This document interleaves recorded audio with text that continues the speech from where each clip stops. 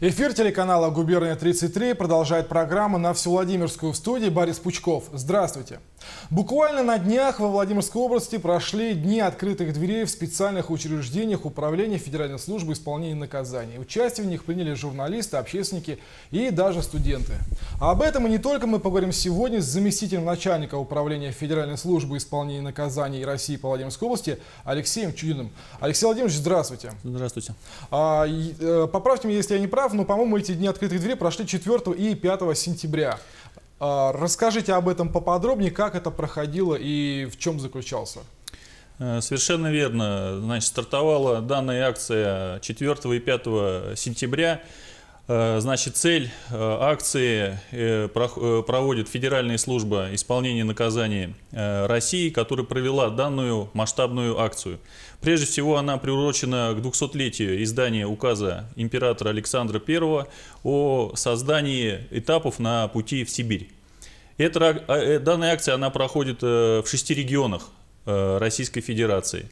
Стартовала она в Владимирской области, но она также захватывает и другие области, в частности Омскую область, Томскую область, Э, Республику Татарстан, Удмуртскую э, республику, Красноярском крае. Но стартовала данная акция в Владимирской области. Угу. Цель, которую преследует данная акция, Федеральная служба исполнения наказаний, это ознакомление с развитием системы э, исполнения наказаний в России, от, э, начиная от истории, от каторги и монастырской тюрьмы до современных исправительных э, учреждений. Для этого была проделана масштабная работа, это и интерактивные лекции, экскурсии, значит, посещение исторических мест и современных исправительных учреждений. Угу.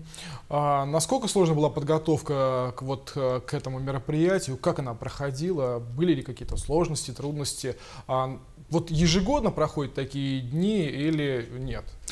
Ну, данная акция, на моей памяти, она э, впервые проводится, значит, масштаб данной акции, потому что все-таки она охватывает э, 6 э, регионов Российской э, Федерации. Э, цель, э, конечно же, э, скажем так, экскурс от истории, значит, сибирского тракта, рассказ об этом и, как я уже сказал, до современных исправительных учреждений. Но данная акция проводится впервые. Алексей Владимирович, почему именно с Владимирской области стартовала эта всероссийская акция, это мероприятие?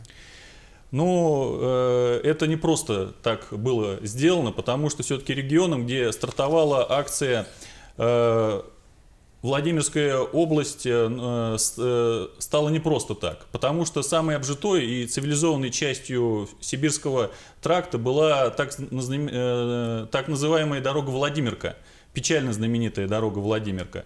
Э, партии пересыльных выходили из Москвы утром каждый э, понедельник. В нашей губернии эта дорога проходила через э, Покров, Владимир, Ковров и Гороховец. Еще одна причина, по которой всероссийская акция пошла в Владимирской области, это возможность наглядно проследить, как менялась тюремная система.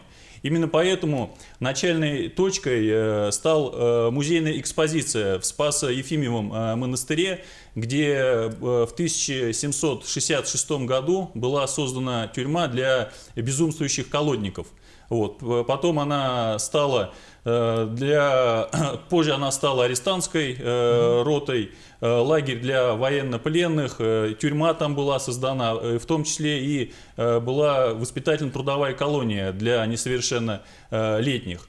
А, Александр вы имеете в виду а, специальную тюрьму особого назначения, которая вот находилась в Спас Ефимовом монастыре в Суздале? Да, по позже, по позже она там была сделана, а изначально была тюрьма для так называемых безумствующих колодников там э, создана. Сама акция стартовала оттуда.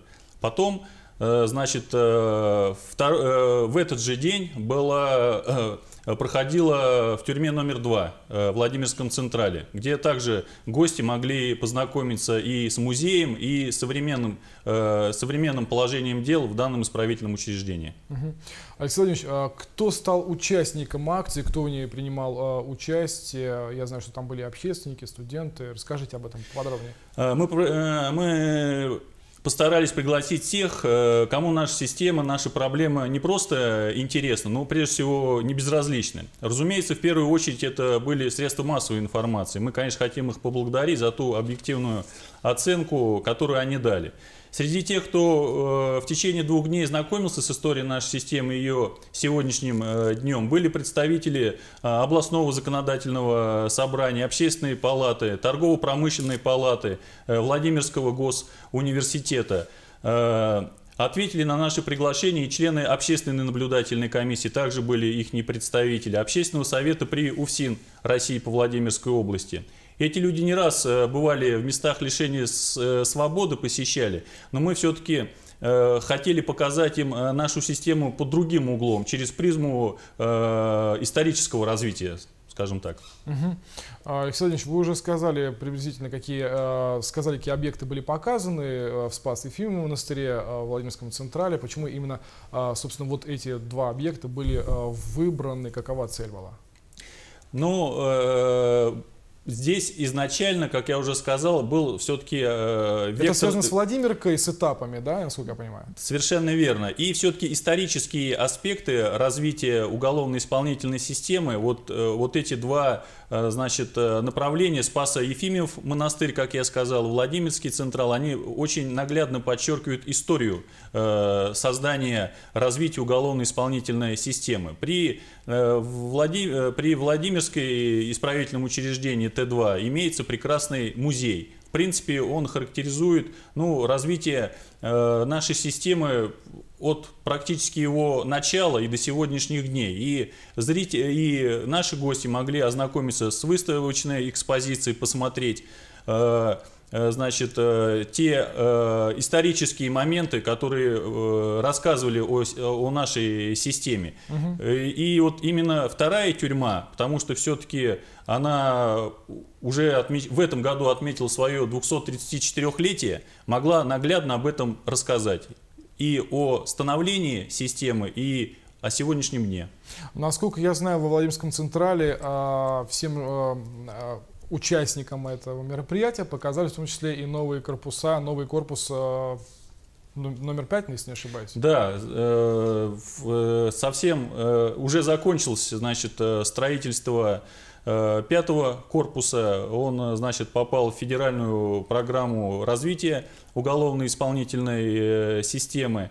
Значит, корпус, он построен по всем стандартам европейским э, стандартам, которые необходимы для отбывания наказания. Э, в общей сложности 150 камер, современная система видеонаблюдения, современная система охраны.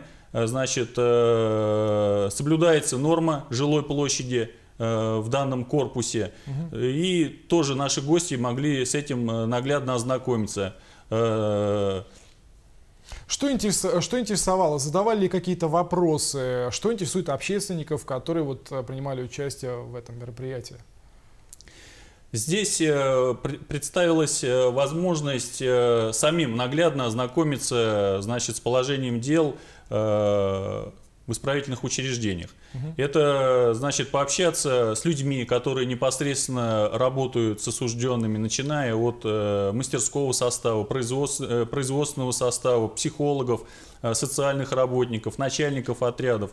Ну и побеседовать с осужденными, которые отбывают наказание, и задать им интересующие вопросы. Одним словом, из первых уст своими глазами посмотреть на становление системы и на ее сегодняшний день. Угу. А, акция проходила 4 дня открытых дверей, назовем так, а проходили они 4 и 5 сентября, и во второй день а, для родственников осужденных, представителей общественности и СМИ было организовано посещение двух исправительных учреждений. Это, это, в, перв, это в первый день. Четвер... Это первый день. Да, это первый день. Спаса Ефимия, Ефимов монастырь вот, и, и, и тюрьма номер два. Второй mm-hmm. день а, она была посвящена уже современным исправительным учреждениям. Это женская исправительная колония номер в один, Головино. расположенная в Головино, mm-hmm. где отбывают наказание впервые осужденные женщины. И исправительная колония номер три в котором, в котором отбывает неоднократно судимые мужчины. А что там посмотрели э, общественники?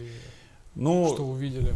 Если мероприятия также значит, проходили как бы масштабно, Второй день посещения, он начался, как я уже сказал, с женской исправительной колонии. Ну, во-первых, была предоставлена уникальная, значит, возможность, посетили дом матери и ребенка, «Радуга», Э, центр э, совместного проживания, где осужденные женщины постоянно находятся э, со своими детьми.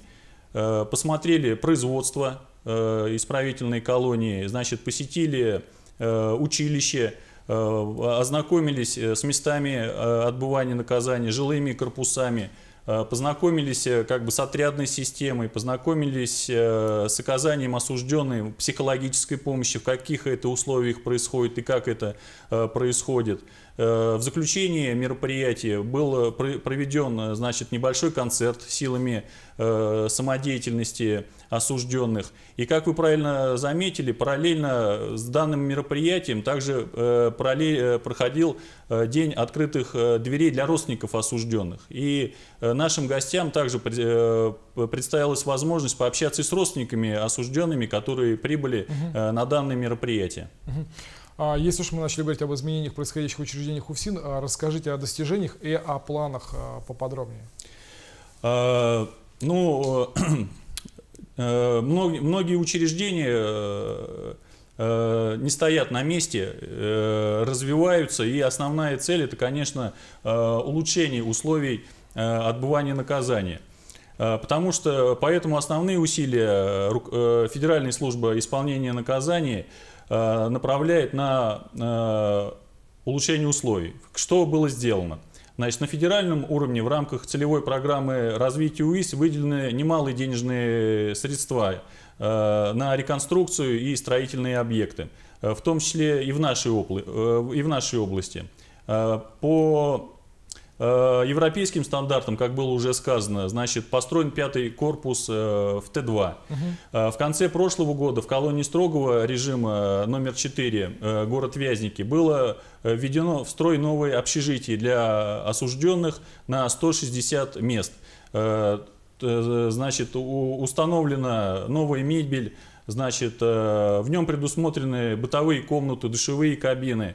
Далее, в сезон номер 3 Э, построено э, завершено строительство э, нового здания на 245 значит, мест. Это вот. имеется в виду Кольчугина? Да, угу. это сезон номер три, это в Кольчугино. Здесь находятся, здесь находятся граждане, которых еще закон, э, приговор суда не вступил в законную силу, ну и, соответственно, э, э, условия, в которых они отбывают наказание, ну, должны соответствовать все предъявляемым требованиям, конечно же, в рамках закона. Это четырехэтажные здания, которые тоже уже строительство завершено. В новом корпусе в сезон 3 на одного человека приходится 7 квадратных метров, что также полностью соответствует предъявляемым требованиям. Э, на сегодняшний день готовится к заселению новое здание общежития в колонии поселения номер 9.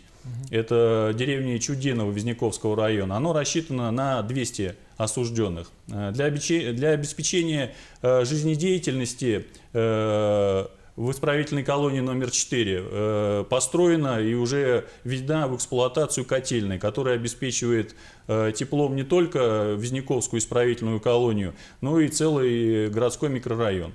Вот как бы основные объекты, э, которые э, были в последнее время построены. И планируется в Покрове, это исправительная колония номер два, вот в эксплуатации э, значит, зданий для проведения длительных свиданий. Угу. Это на перспективу. А главными участниками, э, гостями Дня открытых дверей были представители общественности, даже студенты, насколько я понимаю. И вот интересно бы хотелось бы узнать, а как вообще развиваются взаимоотношения уголовно-исполнительной системы и различных институтов гражданского общества? Скажите вот об этом. Ну, э, мы плотно э, взаимодействуем с институтами гражданского общества. Прежде всего хотелось бы рассказать и о общественном совете, который создан при УФСИН э, России по Владимирской области.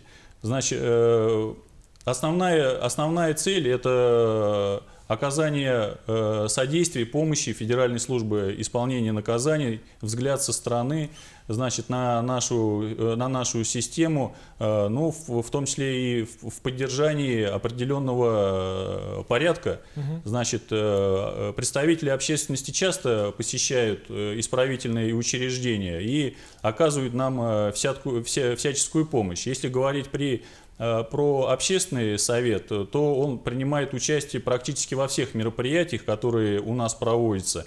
Это и э, празднование э, Дня Великой Победы, Дня пожилого человека, спортивные мероприятия проводятся. Ну и их мнение о местах лишения свободы, о бытовом условии тоже для нас очень важно.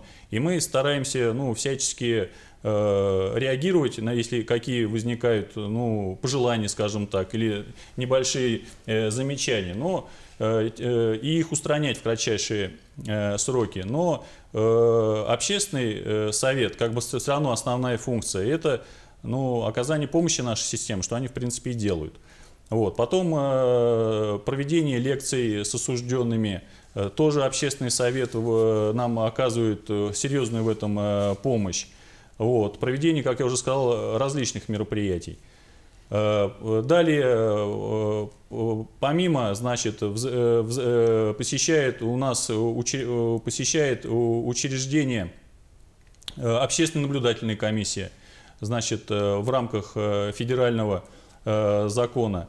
Но мы стараемся быть открытыми быть открытыми для системы, для э, общества, чтобы формировалось правильное объективное мнение о местах лишения свободы. Угу.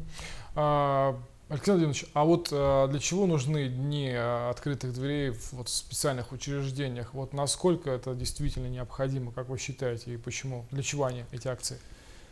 Э, когда граждане э, попадают в местах лишения свободы, это, конечно же, трагедия, трагедия прежде всего для их ихних семей, для ихнего э, окружения, для ихних родных и близких. И э, они пытаются ну, всякие, э, э, возможными способами больше узнать, в каких условиях находятся их родственники. И, соответственно, используют все для этого ресурсы. Информационные ресурсы, сеть интернет и так далее.